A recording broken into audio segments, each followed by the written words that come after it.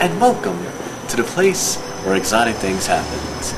We have a lot of things, a lot of interesting things going on. Like a lion that doesn't spit out water. It's pretty unique. And also, we have deers that light up at night. Tonight, we have an interesting thing that's going around. We have a guy that likes having sex with deers that light up in the dark. And it's pretty amazing. You gotta see.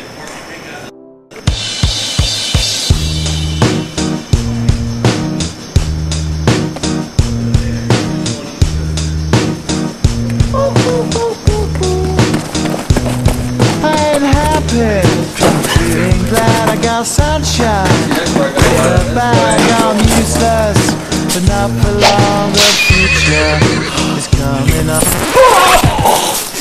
Come on, please! I don't think I can! the fuck up. Enough of this shit. I was trying to find a friend.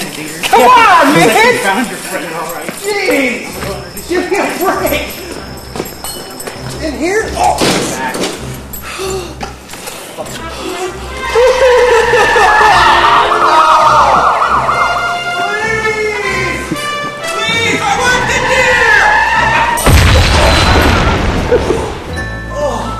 This is what happens to deers when they light up in the dark.